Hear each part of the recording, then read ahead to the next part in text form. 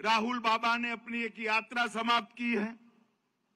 मालूम है ना, पूरे भारत में यात्रा में निकले थे और पूरे भारत की यात्रा कर कर सारे कांग्रेसी बड़े खुश दिखाई दे पड़ते थे कि राहुल जी ने यात्रा कर दी, राहुल जी ने यात्रा कर दी, राहुल जी ने यात्रा कर दी।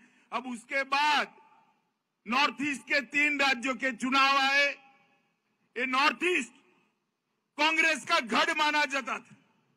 क्योंकि वहाँ पर कई राज्यों में माइनॉरिटी की बहुलता है, क्रिश्चियन भाइयों की बहुलता है।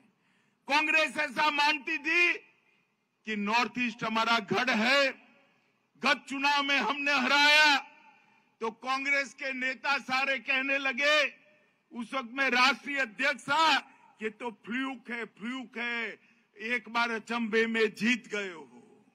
ये यात्रा समाप्त कर कर राहुल बाबा वहाँ गए।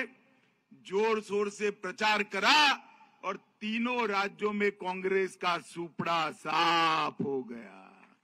और तीनों राज्यों में मोदी जी के नेतृत्व में त्रिपुरा में पूर्ण बहुमत की भारतीय जनता पार्टी की सरकार बनी।